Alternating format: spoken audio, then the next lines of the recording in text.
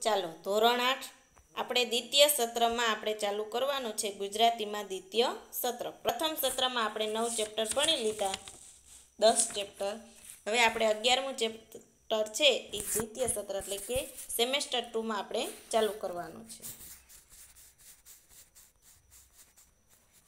Semester ટુમાં અગિયારમું chapter છે, વડાવી બા આવી. વડાવી બા આવી એટલે આ પાઠમાં છે કે દિવાળીની રજાઓમાં બધા સંતાનો એના વતની એટલે કે જે એના વૃદ્ધ માતા પિતા રહેતા હોય, એના ઘરે ગયા હોય અને પછી વહી જાય છે અને પછી છેલ્લે બા એટલે કે જે એના વૃદ્ધ માતા પિતા વધે છે અને એનું વાતાવરણ કેવું થઈ જાય છે એ આ કાવ્યમાં સમજાવવામાં આવ્યું છે. કાવ્યનો પ્રકાર છે સોનેટ. સોનેટ કાવ્યનો પ્રકાર છે. લેખકનું નામ છે ઉષ્ણય. ઉષ્ણસ. જન્મ છે અઠ્યાવીસ નવ ઓગણીસો ને વીસ, અવસાન છે સાત અગિયાર બે હજાર ને અગિયાર. કવિ નટ, નટવરલાલ કુબેરદાસ પંડ્યા, એનું ઉપનામ છે ઉષ્ણસ. એનું મૂળ નામ શું છે? નટવરલાલ કુબેરદાસ પંડ્યા. ઉપનામ છે ઉષ્ણસ. વડોદરા જિલ્લાના સાવલી ગામના વતની હતા. વલસાડથી કોલેજમાં તેઓ અધ્યાપક અને આચાર્ય હતા. પ્રોસોન નેપ નેપથેપ આંદ્રા ત્રોહણનો ગ્રહ, સંવંત, છંદ વગેરે તેમના કાવ્ય સંગ્રહ છે, જે સોનેટ પ્રકારમાં તેમજ કેટલીક સોનેટ માળાઓ આપી છે. બધા કાવ્ય એને શેમાંથી લીધા છે? સોનેટ પ્રકારનું જે કાવ્ય પ્રકાર છે, એમાંથી એને લીધા હતા અને સોનેટ માળા એને આપી છે. વાસ્તલ્ય પ્રાવ નિરૂપતા કુટુંબ, ચિત્રો, ગ્રીષ્મ અને વર્ષાના મહેર મનોહર પ્રકૃતિ વર્ણનો અને કાવ્યમાંથી સુફેરી રહેતું ચિંતન આ કવિએ નોંધપાત્ર લાક્ષણિકતાઓ છે. શું કીધું? વાત્સલ્ય ભાવ એટલે કે પરિવાર અને પરિવાર વચ્ચેનો જે ભાવ છે એ દર્શાવતું પ્રાકૃતિક વર્ણ આ કાવ્યમાં એને જાણકારી આપી છે.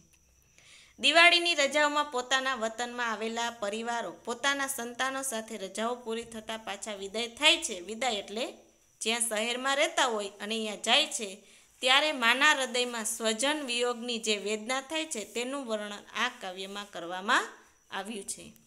માતા, પિતા અને વૃદ્ધ, વિધવા ફોય વિરહ વ્યવસ્થિત છે. છેવટે બધા સંતાનોએ વિદાય આપી પાછા વળતી બા ઘરને ખાલી થઈ ગયેલું જોઈને બહાર પગથિયા ઉપર બેસી જાય છે. શું કહે છે કે સંતાનો શહેરમાં રહેતા હોય, ત્યાંથી અહીંયા એના વતનમાં આવે અને પછી જે એના જે રજાઓ પૂરી થઈને વહી જાય ત્યાં જે ઓલી વૃદ્ધ માતા પિતા અને વિધવા હોય અને જે વૃદ્ધ લોકો વૈધા હોય એના બાળકો વહી ગયા હોય ને ઘર ખાલી કરેલું જોવે, તો એનું ઘર એનું જે હૃદય હોય કેવું થઈ જાય? ભાંગી પડે છે.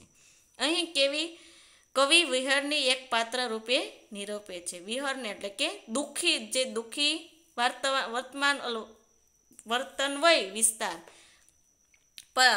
વાતાવરણ એનું અહીંયા નિરૂપણ કરે છે. ધ્યાનપાત્ર છે. વાત્સલ્ય વિષયક આ સોનેટમાં કવિએ બાના હૃદયના નજીક સ્નેહનું તેમજ સંતાન વિયરથી વ્યાપેલા વિષાદનું હૃદયસ્પર્શી નિરૂપણ કરી વર્ણન દ્વારા જ કરુણ રસ નિષ્પદ કર્યો છે. શું કીધું? વાત્સલ્ય વિષયક એટલે કે એકદમ વાત્સલ્યપૂર્વક અહીંયા જે બાના હૃદયમાં વિહાર એટલે કે દુઃખના જે વાતાવરણ જોવા મળે છે, એની આમાં રચના કરવામાં આવી છે.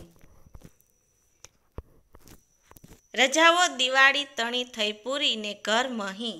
ઘર મહી એટલે કે ઘર કેવું થઈ ગયું એનું ખાલી. ઘરમાંથી દહાડાઓ કેરી સ્થલિત થઈ શાંત પ્રથમની. દહાડાઓ એટલે કે કેટલા દિવસોથી શું થઈ ગયું તું ઘરમાં?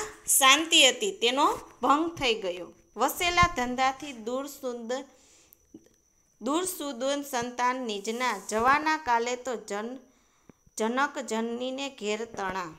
શું કીધું? કે ધંધારથી દૂર દૂર વસેલા પોતાના સંતાનો હવે કાલે જતા રહેશે અને માતા પિતાના અને ઘરમાં રહેતા વિધવા ફય સૌ તેમના નસીબમાં લખેલા વિહરને મિલન કરી રાત સુધીની વાત કરે છે.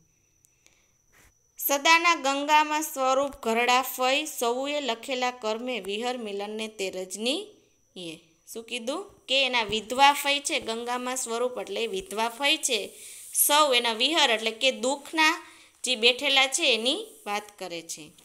નિહાળ્યો સૌ વચ્ચે નિયત કરી બેઠો નિજ જગા.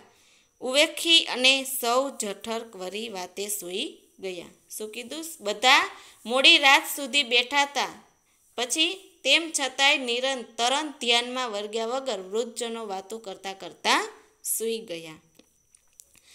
સવારે ભાભીનું ભર્યું ઘર લઈ ભાઈ ઉપડ્યા.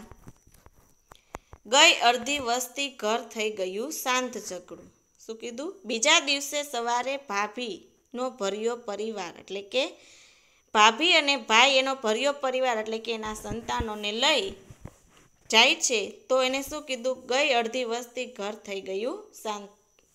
ઘરમાંથી અડધા લોકો વહી ગયા એટલે ઘર કેવું થઈ ગયું? શાંત.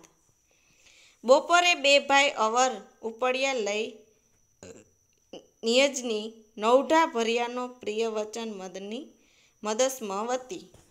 મદસ્મવતી એટલે કે એની પ્રિય બોલાવનારી અથવા હમણાં જ મેરેજ થયેલી પત્નીની વાત કરી છે. કે બપોરે, બીજા દિવસે બપોરે બીજા ભાઈઓ પોતાની નવપરણિત અને પ્રિય વચન બોલાવતી તથા મત સ્મિત કરતી, એટલે કે એકદમ હસરી હસતી રીતે રહેતી જે સ્ત્રીઓ હતી, એને પણ લઈને ચાલ્યા ગયા. વડાવી બા આવી નિજ સંકલ્પ સંતાનો કમર્શ ગૃહ વ્યાપી જોઈ વિહર પડી બેસી પગથિયે.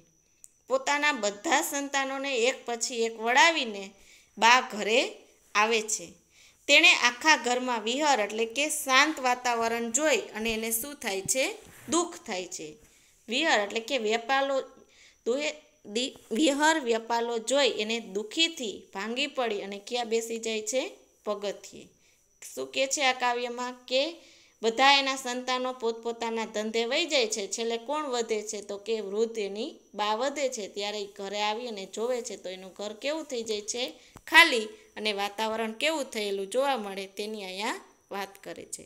તો કાવ્ય સમજૂતી વ્યવસ્થિત સમજી, બે વાર રફ બુકમાં લખવાની અને શબ્દ સમજૂતી પાકી બુકમાં લખી વ્યવસ્થિત રીતે તૈયાર કરવાની.